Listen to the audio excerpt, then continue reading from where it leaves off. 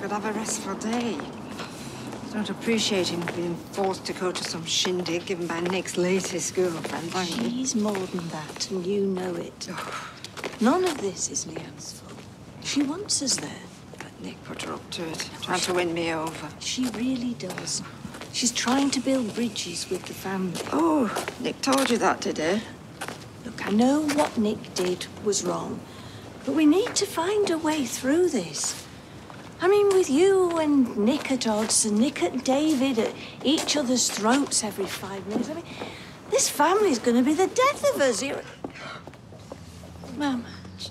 Oh, ma'am. Are you okay? Ah, yeah.